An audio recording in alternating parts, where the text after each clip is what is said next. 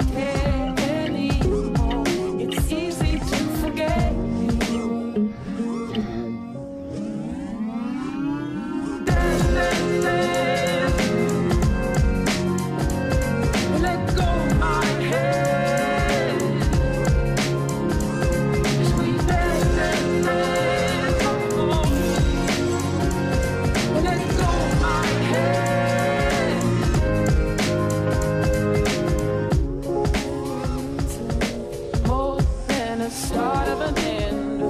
What I'm sorry, but letters on a glass wall. But words.